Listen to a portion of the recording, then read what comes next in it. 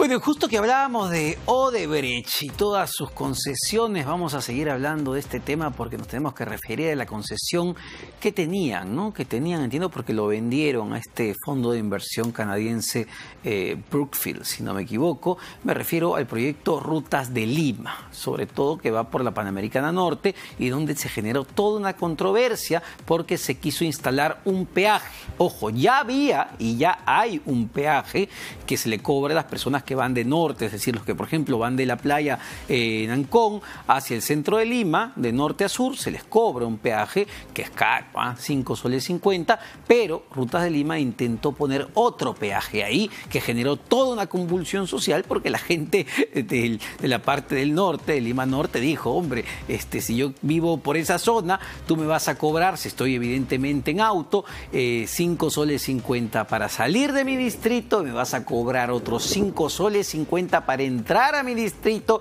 y yo te voy a tener que pagar a ti 11 soles cuando hemos sido todos conscientes de que estas obras estuvieron manchadas por la corrupción. Es decir, mientras ustedes se llenaron los bolsillos de plata y unos funcionarios, malos funcionarios, también se llenaron de plata, los que terminan pagando los platos rotos con la corrupción somos los ciudadanos. Pues bueno, estamos ya con el alcalde de Puente Piedra, Renan Espinosa, que ha puesto ya una acción ante el Poder Judicial para eliminar también o retirar o suspender, no sé, me lo dirá, este peaje primigenio, el que todavía está y el que ha estado desde hace mucho tiempo, entiendo, siguiendo un poco el ejemplo de lo que hizo La Molina con el retiro de este peaje y que el Poder Judicial le dio la razón. Muy buenas tardes. Muy buenas tardes, gracias por, la oportunidad. Lo que hemos hecho el día lunes como representantes de, de un distrito por la Municipalidad de Puente Piedra es entregar al Poder Judicial la acción de garantía constitucional de habeas corpus, eh, precisamente por la vulneración de un derecho que es el de libre tránsito, ya que este peaje que obstaculiza el libre tránsito, que no nos da opción a poder ir por otro camino, sino es la única salida que tenemos, y además a la que nos solían pagar 5 soles 50. Y estando dentro de nuestro mismo distrito y ya como municipalidad entregando servicios, es que también incurrimos en mayores gastos para poder seguir beneficiando a nuestra familia puentepedrina. Pero lo, que nosotros eh, queremos lograr mediante este habeas corpus es evitar que se siga vulnerando el derecho de libre tránsito y que definitivamente dentro de, los, de las pretensiones principales es que las garitas que hoy están instaladas puedan sacarse y se pueda de esta forma también frenar el pago, hasta que no tengamos una vía alterna. A ver, el contrato de concesión con Rutas de Lima, cuando se entregó esta concesión, eh, contemplaba el desarrollo de vías alternas, porque efectivamente en otros países donde funcionan eh, los peajes, ¿no? La gente tiene vías paralelas donde te demoras un poco más, pero no pagas pues el peaje. Tiene la alternativa, que es lo lógico. Si tú quieres ir más rápido, pagas más. Si no, vas un poco más lento, pero no pagas. Eh, usted me dice que en esta zona, en la Panamericana Norte de Puente Piedra, no hay posibilidad de una vía alterna. Así es, es el único camino por donde podemos salir de nuestro distrito hacia Lima, hacia Los Olivos, hacia Independencia, hacia Lima Centro. Para poder llegar acá he pasado por ese único camino y he pagado mis 5 soles 50. Y es precisamente lo que, lo que mencionas. En todas partes del mundo cuando existe un peaje, existe también otra posibilidad de tomar un segundo camino en donde probablemente te tome más tiempo, pero no pagas peaje. Tienes esa opción de elegir, de que tú puedas decidir. Aquí no decidimos, pasamos de manera obligatoria por allí. ¿no? Y eso es precisamente una vulneración ante el derecho de libre tránsito, que es lo que presentamos en este habeas corpus. Ahora, ustedes en este habeas corpus recuerdan o, mencionan ya esta obra en su momento perteneció eh, al consorcio integrado por Odebrecht. Después ellos, entiendo, vendieron su participación. Odebrecht continúa en Rutas de Lima, se quedó con alguna participación pequeña o ya está fuera totalmente de este proyecto. Exactamente esa información plena no la tenemos, pero sí entendemos que todo inició por una negociación por debajo de la mesa y que lastimosamente esto ha perjudicado. Porque en un principio, cuando se instala el peaje con la nueva concesionaria, que en este caso Ruta de Lima, administrada por Odebrecht, es que nosotros nos sentimos un poco fastidiados ya que nos incrementan el peaje. Y cada cierto año nos incrementaban cada vez más. Pero ya nuestra preocupación, más allá de la afectación económica al bolsillo de todas las personas que pasan por ahí, es también la afectación moral, de que terminamos pagando mm. lastimosamente la subvención o, la, o el financiamiento de las campañas a través de dinero ilegítimo a estas personas que hoy y que, una persona ya está pagando eh, condena y que se sigue investigando y que otra persona estoy seguro que la va a tener que pagar. Bueno, Susana Villarán, ¿no? El momento que se hizo la, y hay que recordarlo porque es importante, el momento que se hizo eh, la campaña de la revocatoria por el no, Barata dijo que efectivamente le entregó a Susana Villarán 3 millones de dólares para esa campaña y eso era sensible y grave porque Susana era alcaldesa y Rutas de Lima era un proyecto sensible y sumamente clave para los brasileños. Y, hay que recalcar que expresamente el contrato no indica que ellos están eh, facultados o que ellos están obligados a hacer las vías alternas.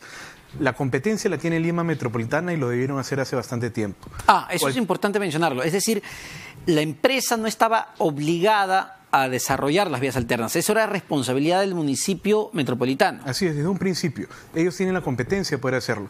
Sea la antigua Panamericana Norte, sea la Avenida de las Torres, sea cualquier avenida metropolitana que ellos debieron haber planificado y que además debieron haber ya mejorado en un proyecto eh, de, inversión pública, sea una pista, el ancho de la vía, mejorar el ancho de la vía, el asfaltado de ella, pero no tenemos ninguna de ellas y es precisamente la única opción que tenemos es pasar por la Panamericana Norte pagando el peaje. ¿Y, alcalde ha podido conversar de este tema con el alcalde de Lima, Muñoz? Es eh, decir, eh, no sé si le ha dado plazo, si se planea o no se planea construir vías alternas. Sí, es, es un pedido que se reitera cada oportunidad que se le hace las exigencias, así como a nosotros nos las hacen nuestros vecinos, nuestros ciudadanos, de estas vías alternas que van a beneficiar muchísimo a los distritos, sobre todo que están perjudicados por este peaje. Puente Piedra, Santa Rosa, Ancón, parte de Caraballo, parte del vecino distrito de Ventanilla, Mi Perú, Pachacútec.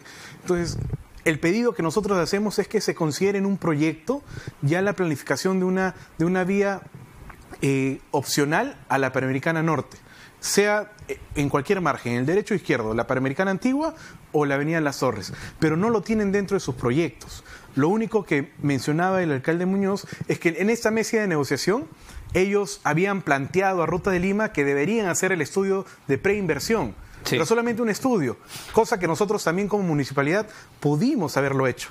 Y es más, se lo compartimos al alcalde Muñoz. Nosotros empezamos con ese trabajo y ustedes continúenlo con el financiamiento del proyecto y la ejecución del mismo. Pero lastimosamente lo que ocurre es que el pedido es hacia Ruta de Lima.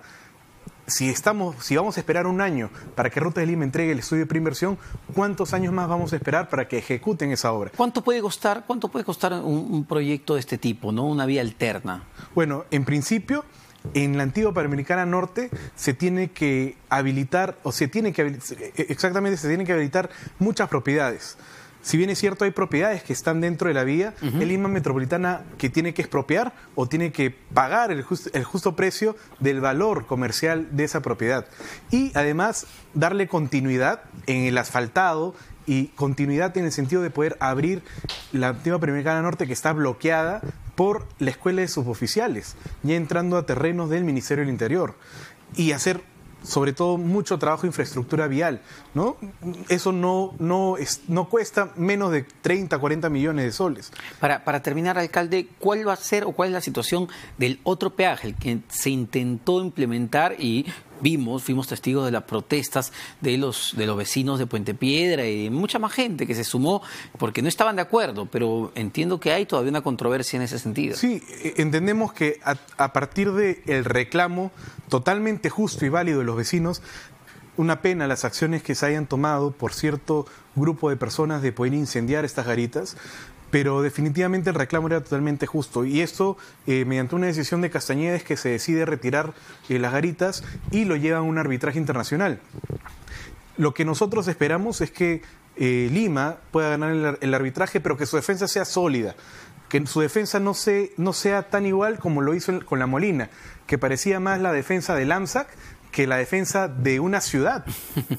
Y eso es lo que es por esa razón la que nosotros, por la que nosotros tomamos la decisión de presentar este habeas corpus, porque entendemos que pues no tenemos una autoridad que respalde la posición de toda una ciudad tan grande como es Lima Norte. Y para terminar, sobre este, sobre este, mm, digamos, esta acción interpuesta ante el Poder Judicial, ¿han conversado con la Municipalidad de Lima? ¿Respaldan su accionar? En un principio, nosotros le habíamos compartido al alcalde Muñoz que todas las estrategias posibles a nuestro alcance y nuestras competencias la íbamos a adoptar y que nos tenía como aliados para hacer presión política, mediática o lo que fuese, para que se dé una solución inmediata a este problema de los peajes. ¿Y, qué le ha respondido el alcalde? Es, una pena que no, haya, no nos haya visto como aliados, porque siempre nos veía como, como los opresores, como los opositores de él, y jamás hemos tenido esa intención.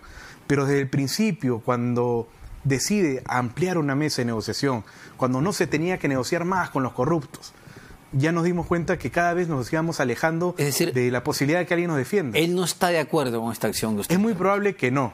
Es muy probable que no y es muy notorio frente a las personas que nos hemos eh, opuesto a la continuidad de estos peajes. Lurín, La Molina, Puente Piedra, algunos regidores que son parte de eh, los regidores de Lima Metropolitana.